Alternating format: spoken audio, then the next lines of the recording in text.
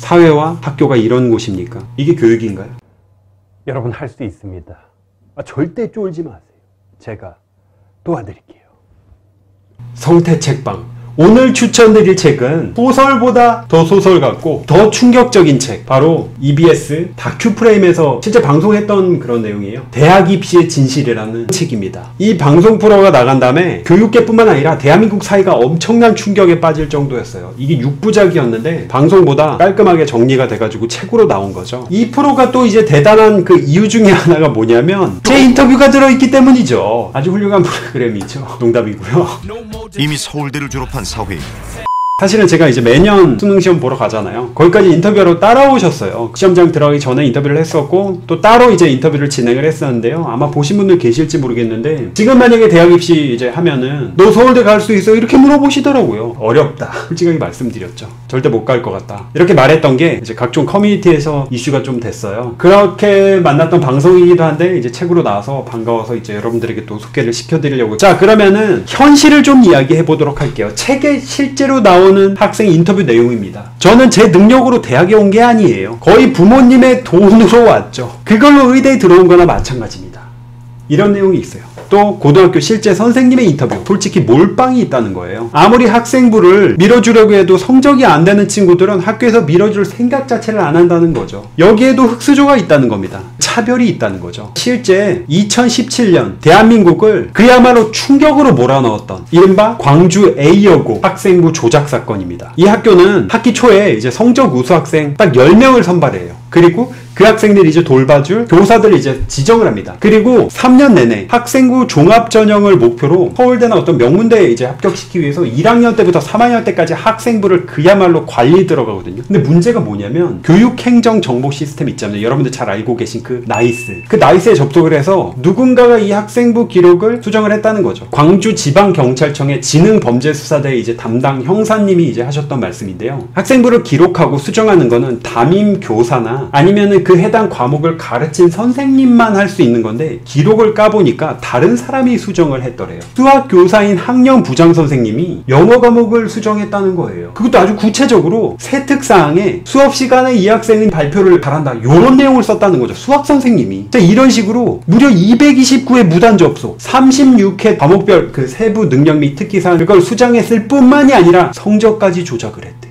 자 그러면은 이렇게 그 이득을 본 학생이 누구냐면 학교에서 계속해서 1등급만 찍던 그런 학생이 있었어요. 근데 이 학생이 어느 날 시험을 삐끗 잘못해서 수학 점수가 2등급으로 떨어지게 됩니다. 학교에서 난리가 났어요. 아니 얘는 지금 명문대 가야 될 그런 애인데 지금 학종 전형으로 2등급 나왔어. 그래서 딱 1등급에 바로 들어갈 수 있는 그 커트란 딱 찍어가지고 점수 조작을 한 겁니다. 그래가지고 교육청에서 이제 감사 들어간 거죠. 근데 교육청에 감사 들어갔더니 이뿐만이 아닌 거예요. 교육청에서 내려오는 교육 지원 예산이 있잖아요. 그걸 모든 학생들에 위해서 써야 되는 그 비용인데 그거를 소위 말하는 우리 특별반 이 학생들에게만 편법적으로 사용을 했다는 거예요. 거기에 더 나가서 만약에 그 관리받는 그 소수의 학생들 그 10여 명의 학생들의 성적이 만약에 떨어지잖아요. 그러면은 교사들이 반성회까지 가졌다는 거예요. 이게 끝이 아니에요. 거기서 더 나아가서 몇몇 선생님들께서는 별도의 과외비까지 받아 챙기셨대요. 그 당시에 이제 교장 선생님 인터뷰가 있었는데요. 선택과 집중입니다. 성적 최상위권 학생들에게는 수능 성적보다 학생부 작성이 훨씬 중요하다는 거예요. 학교 측에서 여기에 최선을 다하자고 한 거다. 왜냐면 우린 지금 이제 광주고 좀 지방이고 하니까 자사고나 특목고 이런 데 비교 자체가 안 돼. 강남은 학원에서 다 해주는데 우리 지역에서는 그럴 수가 없으니까 학교에서 맞춤형으로 아주 빡세게 지도를 해서 학생부 잘 써줘야 된다고 생각을 했다. 이게 교장 선생님 말씀이에요. 여러분 잘 아시다시피 대부분의 학교들 특별반 혹은 특반, 심화반 이런 식으로 나눠져 있어요. 심지어 실제 인터뷰에서 30등 클럽이라는 게 있대요. 그래서 그 30등 클럽 안에 들면은 온갖 상을 다 몰아주는 거예요. 입시에 가질 수 있는 그런 특혜들은 이쪽에 다 몰아주는 거죠. 그리고 특반 안에서도 A반, B반, C반, D반 나눠져 가지고 A반에 가장 많은 걸 몰아주고 이게 교육인가요? 자 마지막으로 그 광주 A여고 한 여학생이 이 사건이 있고 난 다음에 학교, 교실 뿌렸던 그 글을 제가 좀 읽어드리려고 그래요.